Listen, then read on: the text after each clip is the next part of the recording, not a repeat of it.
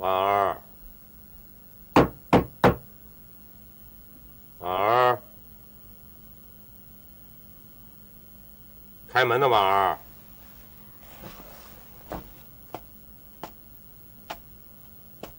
婉儿，爹，婉儿，你怎么了？没什么。哼他把你折磨成这样，你现在还帮他？爹，我不是帮他，我只是想让这一切赶快过去，然后我就可以慢慢的忘了这件事儿。你想忘了这件事，爹现在就可以帮你。爹能帮我？你怎么帮我呢？爹，现在就让你立刻嫁给傅玉书。爹，婉儿，我知道你认识傅玉书已经很久了，你比我更清楚他。傅玉书才是可以让你托付终身的人，啊！这一次你要听我的。不，爹，我不能这么做。婉儿。当然可以了。其实啊，我早就帮你看上傅玉书了，只是啊，你根本不听我的话，我也没办法提，我不能强迫你这么做呀。现在呀，你就听我一句好不好？爹，我不嫁人，我谁都不嫁，我要一直留在爹的身边，一直伺候爹到老。我真的不嫁。婉儿，你上次苦苦哀求我，你要嫁给云飞扬。你根本就不听我的话，结果却落到现在这个地步。现在我让你听我一句话，不要嫁给他，好不好？爹，我真的不嫁，你不要说了。婉儿，我知道，我就是死，你也不会在乎我的。不过，我不忍心就这样看着你。痛苦一辈子，因为你是我女儿。我把该说的都说了，要不要听，就由你做主了。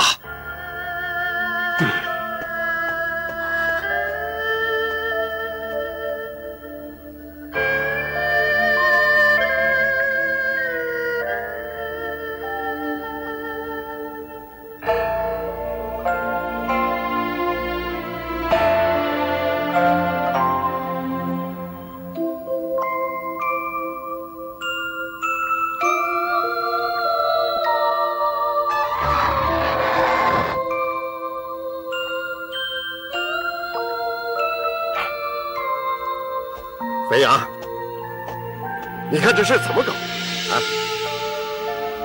人家婉儿是铁了心不嫁给你了啊！你把这事弄乱了。大师伯，我又怎么知道那该死的独孤凤，她出现在我的屋子里？哎，飞扬，你不是跟独孤凤商量好了吗？大师伯，我一心想跟婉儿成亲，心里面。根本就没有独孤凤这个人，难道你也不相信我？我是非常的相信你，啊！可是，一想到婉儿，人家是黄花大闺女，你跟独孤凤这么一亲热，人家受得了吗？你跳到黄河也洗不清楚了，啊！我都差点给人家跪下啊，求人家都不行。我知道，这次我跟婉儿的误会实在是太深了。我真的不应该把独孤凤的事情一直瞒着他，可我又不能说实话，所以婉儿就完完全全对我失去了信心。傻小子！董国凤第一次来崇祯的时候，啊，你就应该跟婉儿说清楚。哎，你是一个小男孩，感情上的事儿你不懂啊。你要是喜欢一个人的话。你要把心里的话，把所有做的事情都应该跟人家说清楚了。大师伯，我我有难言之隐啊。难言之隐？哎，你是不是还有什么事儿没跟人婉儿说清楚啊？大师伯，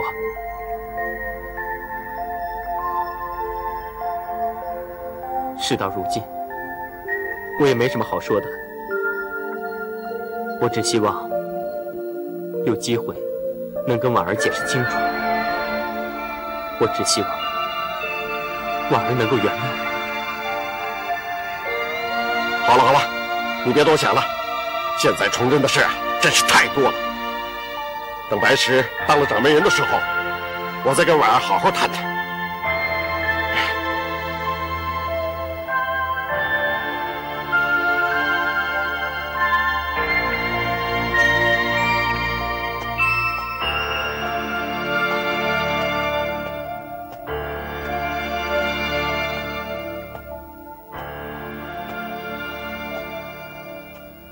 二师伯，你不能这样逼婉儿啊！玉叔，我是为了你好，也是为了我自己好，更为婉儿好。我只有这么做才行啊！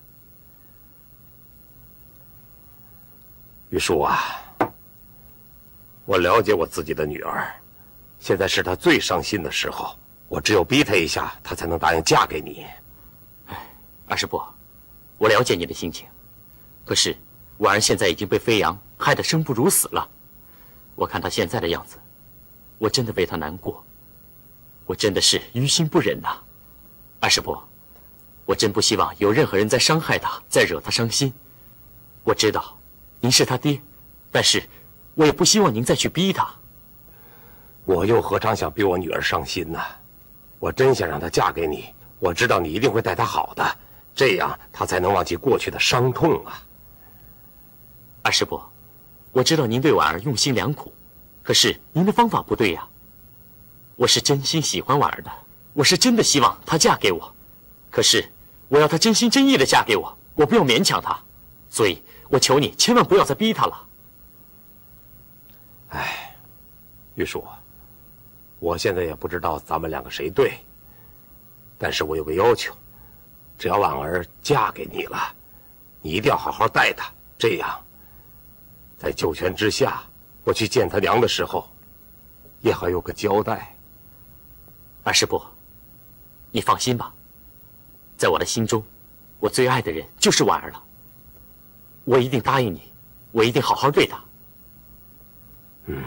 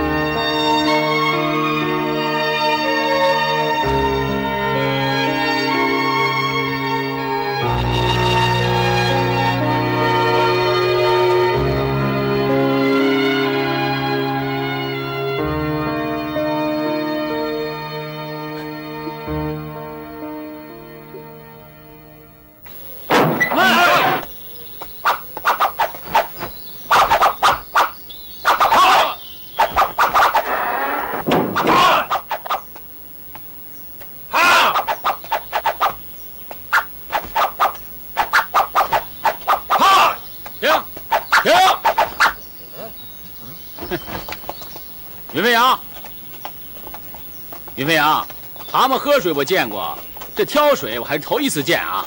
哎，你们说好玩不好玩啊？师兄，你在说什么呀？我不明白。飞扬也怪可怜的，你就饶了他吧。婉儿就要嫁给玉书了。什么？婉儿要跟玉书成亲？这谁说的？你不知道吗？不可能跟玉书成亲的，你们一定都听错了。飞扬，二师伯的确跟我说过婉儿的婚事，我不知道他为什么会这么决定。二师伯，那你？飞扬，你知道二师伯非常疼爱婉儿，他这样做也是迫不得已啊。婉儿跟我是受苦，可我不会让他一辈子都这样。飞扬，其实我也想跟你说，婉儿。如果现在嫁给你的话，她不一定过得好，所以二师伯这样的决定也是情有可原的。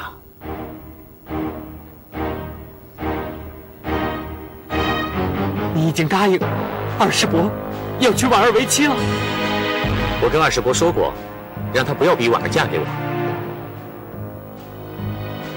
飞扬，说心里话，我是真的不希望跟你争一个女人。不可能，婉儿不会嫁给你的，除非他爱的不是我。好了，没事了，大伙练功吧。哎，走走吧，练功练功了，走走走。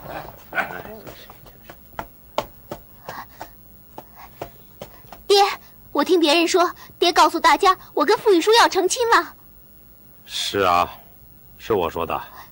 爹，这是你自己的决定。你都没有问过我，又没有经过我的同意。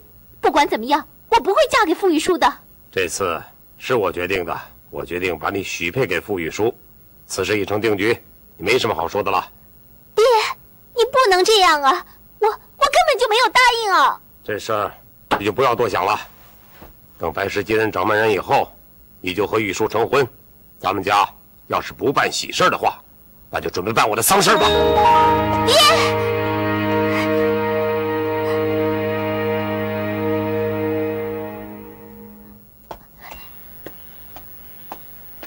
婉儿，婉儿，其实安师伯的决定太冲动了。我知道是我不好，难为你了。我都知道了，其实那是我爹一厢情愿，并不是你的意思。哎，婉儿，其实你爹也是为你好，他是在为你的终身大事着想。可是他这么做，只会令我伤心。如果飞扬知道了，他一定会难过的。我们大家都知道你跟飞扬的关系很好，可是你爹的话也不无道理啊。他是怕云飞扬再次伤害你。婉儿，你不在乎他跟独孤凤的事吗？啊，我也不希望你受伤害呀。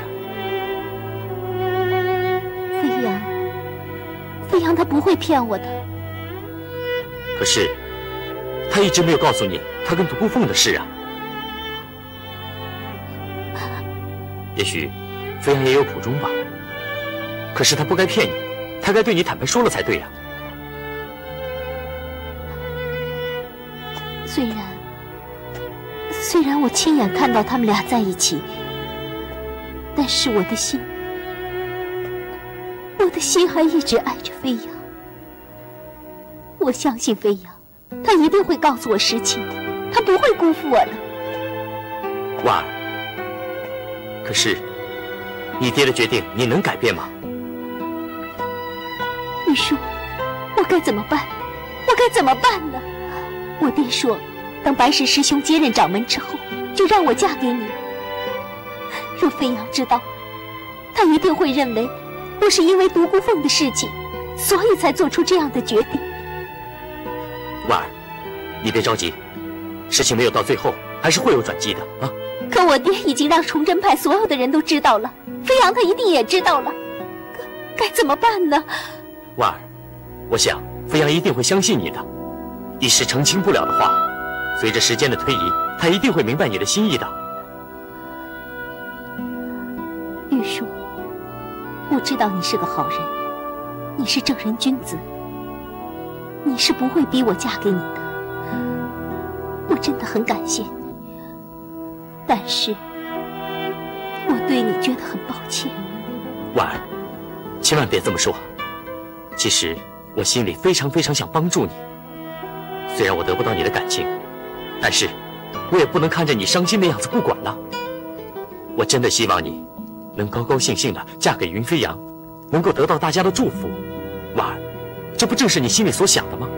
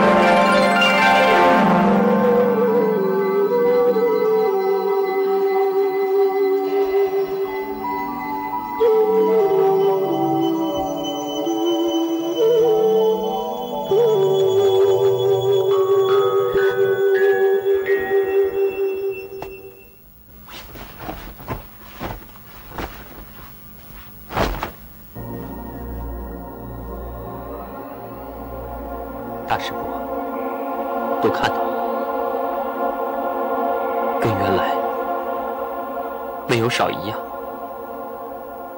我抽空会下山还给人家。臭小子，你别动！大师伯，这些我已经用不着了，还是趁早还给人家。万一弄坏了，弄丢了，我还真的赔不起。这个赤松，现在正朝拜着玉叔和婉儿他们成婚的事呢，真是该死！可恶！该打，该打！哎，大师伯，你干嘛自己打自己啊？飞扬，是我害了你和婉儿。当初他说十六日就嫁给你，可是我非得定到二十二日，是我害了你。来，你出出气，打我，打我呀！大师伯，我真的不会怨你，我也不会怨婉儿，我只能怨我自己。当初没有对婉儿坦白，婉儿会转变，也是应该的。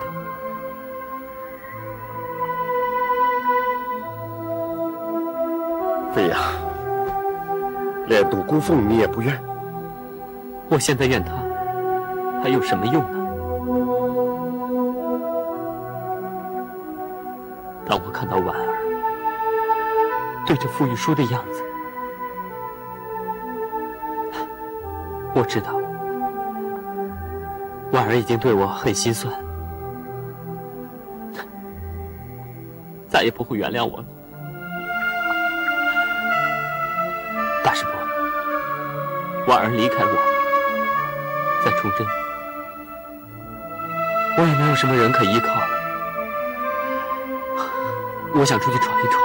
飞扬，你也没有一技之长，你又不会武功，你说将来你该怎么办呢？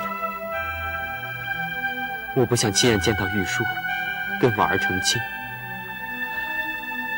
我也不想再让自己难过。崇祯，我已经没有什么别的可留恋的了。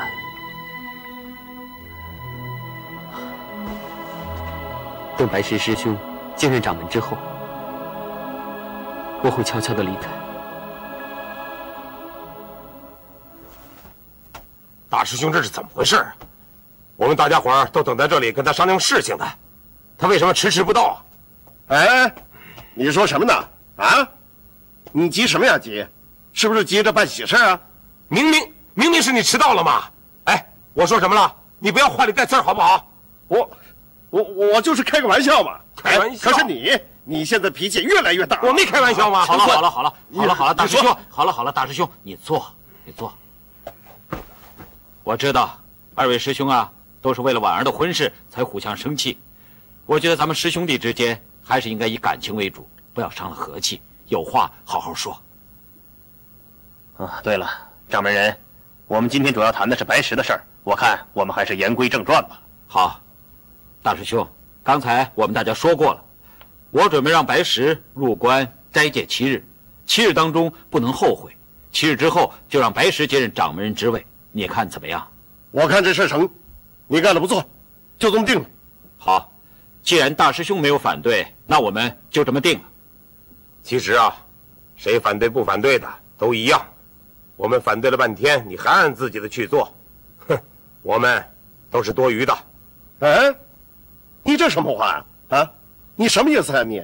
啊，你知道轻松马上不当掌门人了，你现在就欺负他啊？大师兄，轻松。哦，掌门人，金蚕丝语是不是在你那儿啊？啊，那当然是了。只有等白石接任掌门人之后，我再把它拿出来。哼，能不能让我们看看呢？三师兄，二师兄说的对呀。我跟二师兄这么多年了，连金蚕丝语是什么样我们都没见过。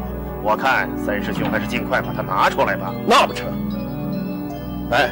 咱们崇祯有咱们崇祯的规矩，啊，就冲你们俩这年龄啊，还想练金蚕丝语，练不出来了啊！大师兄，大师兄，呃，大师兄的话确实有点过分，不过也有他的道理。我们大家都知道，崇祯有规矩，金蚕私语是由掌门人保管，不能随便拿出来。好一个遵从崇祯门规的掌门人呐！哼，不过没关系，世事难料啊。今天我看不到，但是将来我肯定能看得到的。哼！哎哎哎！你这什么话？回来！给我回来！大师兄！哎，青松，我跟你说，这赤松自己啊想当掌门人，他不怀好意。哎，咱们俩去把话跟他说清楚，以后啊省得再找麻烦。大师兄，你呀不要在意二师兄的话，他也是在气头上。不过，掌门人这个事儿，咱就这么定了，谁也别想更改。对，谁也不能更改。爷爷，爷爷，明天他们就送白石入关斋戒七天，入关之后不得反悔。七天以后，白石就可以当上崇祯的掌门人了。一切都如我们安排，顺着我们的心意进行着。爷爷，你马上就可以回逍遥谷。玉叔啊，你打算什么时候送我回家呀？我已经跟风姐他们说过了，只要我当上了崇祯的掌门人，就马上可以接您回家了。哎呀，还要等一些时日啊！不会太久了，爷爷，我已经仔细算过了，再过七天，我就可以当上崇祯的掌门人了。什么？七天？对呀。那七天以后该是由白石接任呐，怎么这么快就轮到你了？爷爷，只要白石一死。我不自然就是崇祯的掌门了吗？我做事绝不会拖拖拉拉的，我会干脆的把白石一脚踢开，然后我就可以顺利的登上掌门的宝座了。我还要娶伦婉儿为妻，我们傅家可是三喜临门了。啊，当上掌门可以呼风唤雨，再弄个崇祯最美的女人陪着，然后再送我回家，哈哈，真是三喜临门呐！啊，我喜欢。我好喜欢呐！哈哈哈哈哈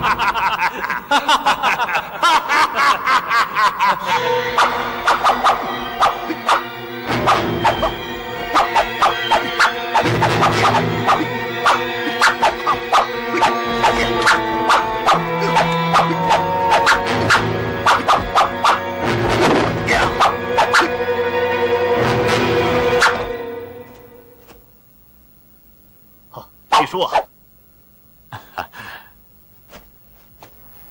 师兄，我到处都找不到你，原来你在这儿练剑呢。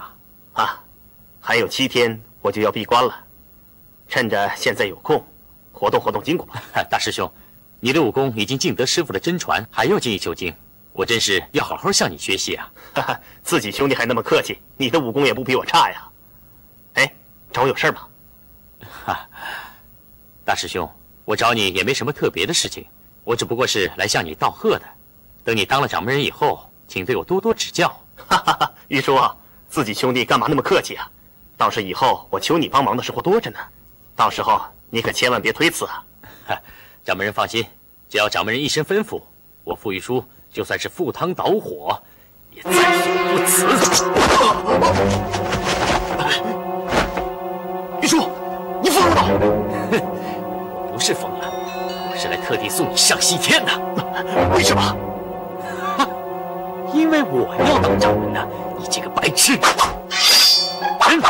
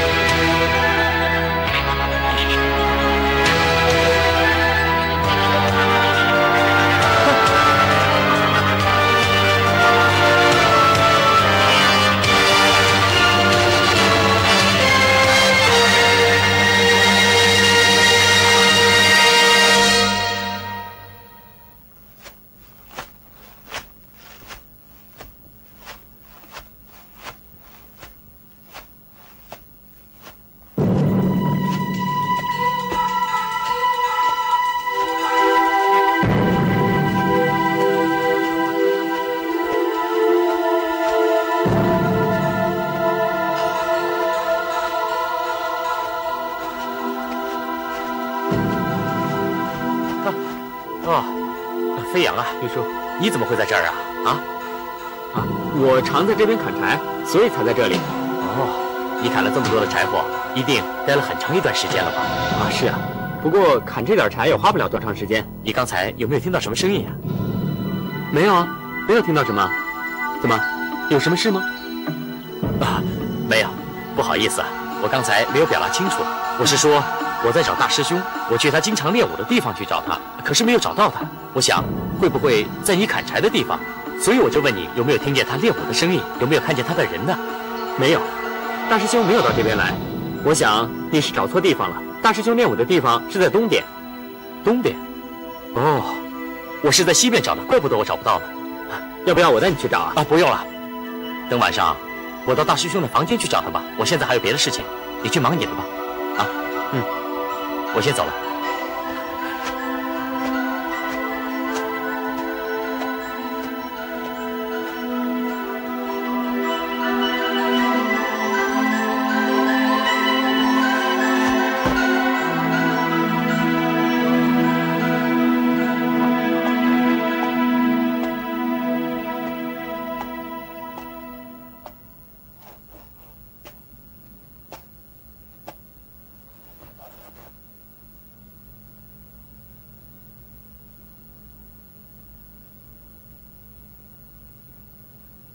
闯山的人是谁呢？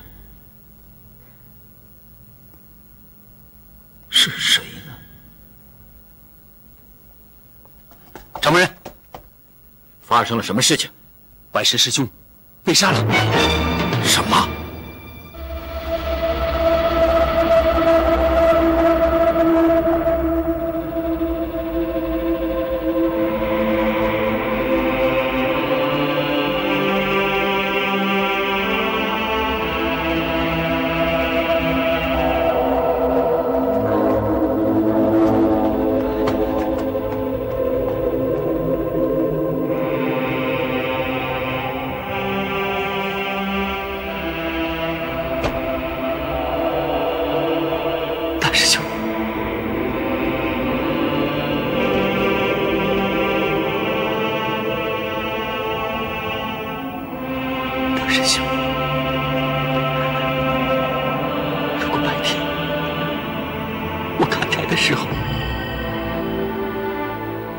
你一眼，就不会这样，就不会这样。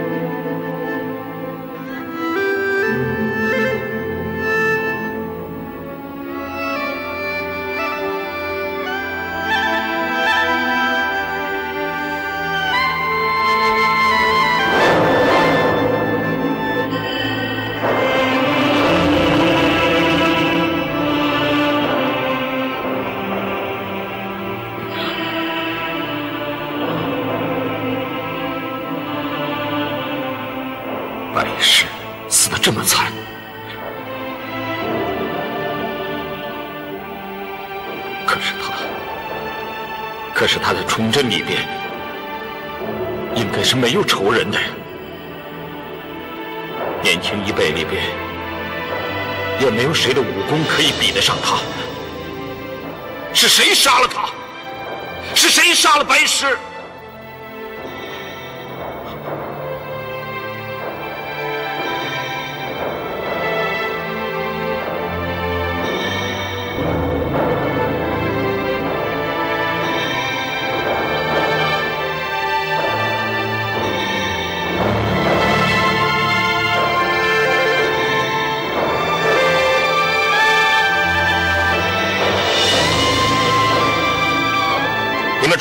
把门关上。是是。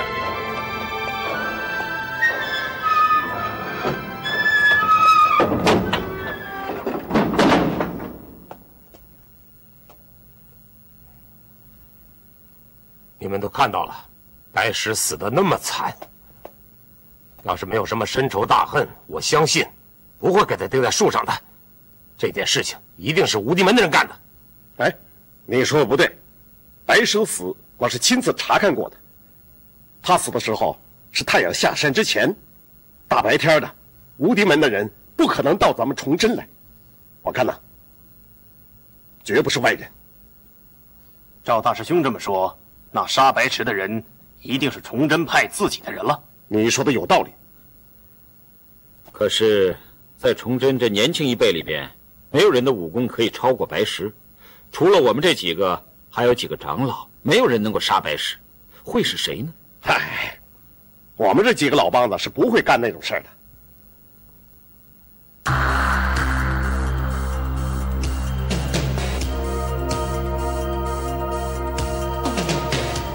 哎，你看我干什么呀？二师兄，你不常说掌门人应该由你接替才对吗？我我是说过呀，但是我说的那都是事实啊。哼，我也不会因为这件事情就杀死白石了？哎，唐所，你不是说你也要接任掌门人吗？我看呀，是你偷偷的杀死了白石。你你不要血口喷人！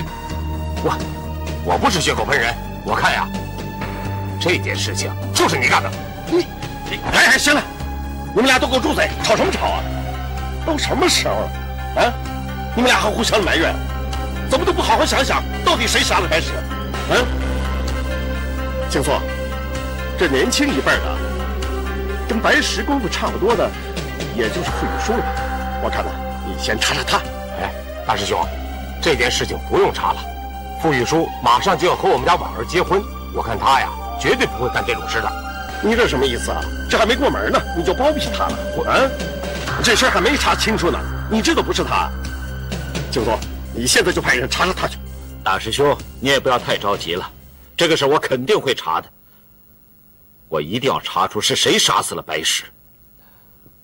当然了，我也不会冤枉了别人。掌门人，你说的有道理，但是我觉得有一件事情，比查凶手更重要。二师兄这话是什么意思？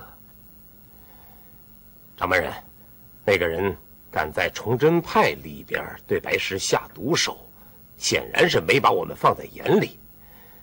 他没把我们放在眼里的原因，就是因为你呀。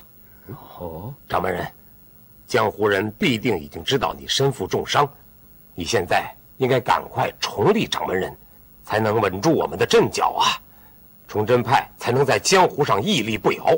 我们一定要尽快重立掌门人，然后再抓这个凶手。嗯，是，二师兄说的有道理，事实也确实是这样。不过你放心好了，我会很快立出掌门人来的。掌门人，你这次选我就不会错，他们通通都不行，没有人比我更合适。哼，你胡说什么呀？你的武功根本就比不上我，你怎么会合适呢？只有我才能接管崇祯派的掌门人，那不行。你接任掌门人，那会破坏崇祯派的规矩的。哼，我顶多是坏了规矩，但是要你接任崇祯，江湖会看扁我们崇祯的，你会让我们崇祯陷于万劫不复之地呀！你，你简直胡说八道！你才胡说八道呢！谁谁谁，都给我闭嘴！怎么又吵起来了？好了好了好了，你们都不要说了，我现在知道该怎么做，你们啊，再容我考虑考虑，很快我就会告诉你们是谁。来接任新的掌门人。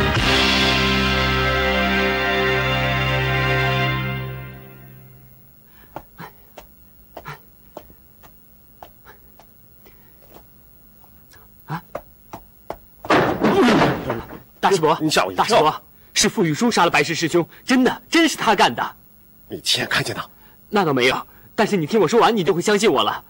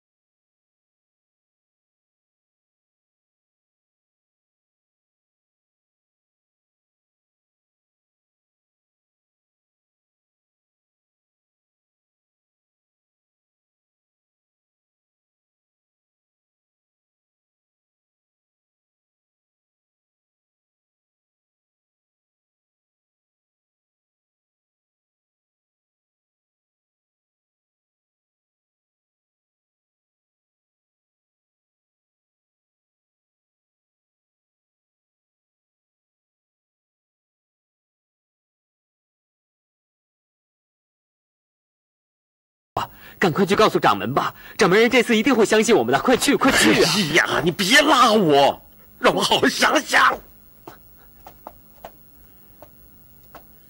哎呀，这不是很明显了吗？你只要实话实说就好了。你快去呀，快！哎呀，飞扬，你说的话我都相信，可是你有什么证据让青松相信呢？我如果拿不出证据来。啊，青松啊，是不会相信傅雨书是内奸的。我们得找一个证据，那怎么办呢？想想啊，嘿，哎，哎。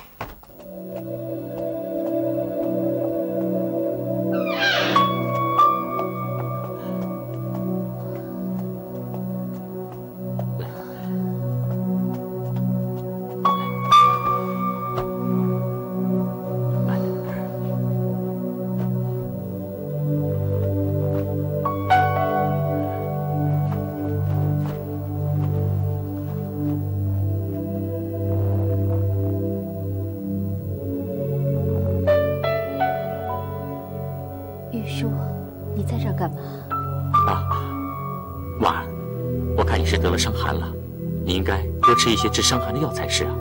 你不用管我，我只是，只是这几天有点太累了。我没有什么病，只要好好睡一会儿就好了。你先歇会儿，等一会儿我就过来。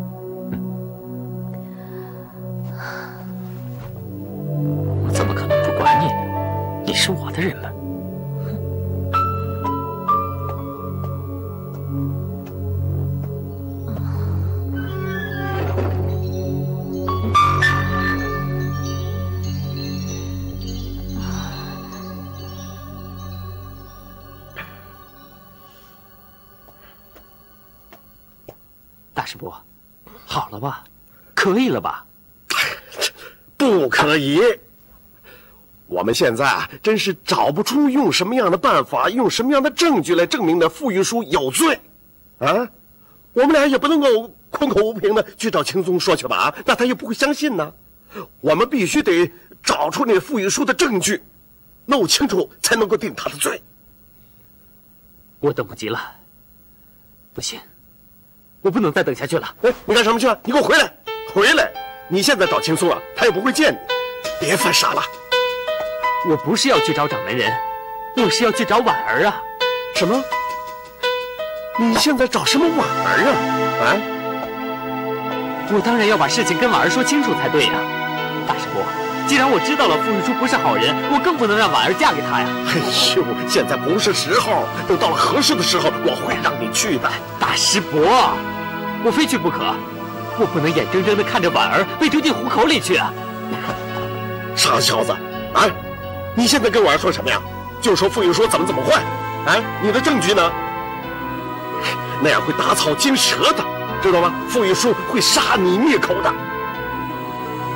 我还巴不得他来找我呢，他要找上我，死的一定是他。哟，你的口气够大的啊！你怎么杀他呀？啊，你跪下来求他，让他自杀，你还是吐口口水淹死他呀？大师伯，我不是真的这么没用吧？飞扬，人家傅玉书现在的功夫不一般，你又不会功夫，啊，我就怕他把你给害了。我，好，大师伯，就算我真的没用，我也得去跟婉儿警告一下吧，要不然我不甘心呐。我要去，我一定要去。哎，飞扬。玉书见过掌门人，啊，我本来要去找你，没想到在这儿碰上你了。婉儿病了，我让人煎了副药，我去帮她拿。哦，她怎么了？这段时间，她心情不好，可能也是因为白石师兄的事情，所以她病倒了。玉书，你真的很爱婉儿？我，我是。本来我是要找你谈婉儿的事，既然你这么回答我，那我们就不用再说了，好吧？你去给婉儿端药吧。掌门人，你问我跟婉儿的事，就这么简单一句话吗？是啊，因为你回答我很爱婉儿，所以我就不用再跟你谈接任掌门人的事了，话自然也就简单了。掌门人，我跟婉儿的事，跟接任掌门人有关吗？玉书啊，崇祯是有规矩的，凡是娶妻生子的门人，是一概不允许接任掌门人的。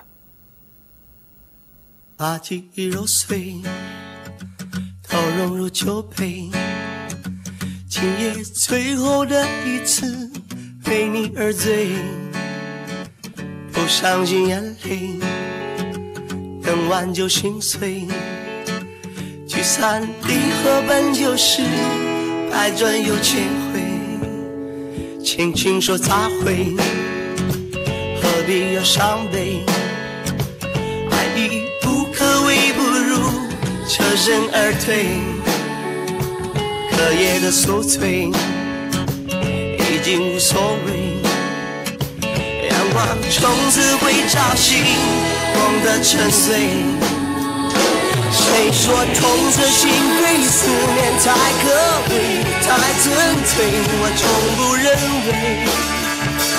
难道爱谁就要永远的相随？谁说遥遥相对，对爱是可悲，是最对，有什么绝对？只要留住记忆中的光。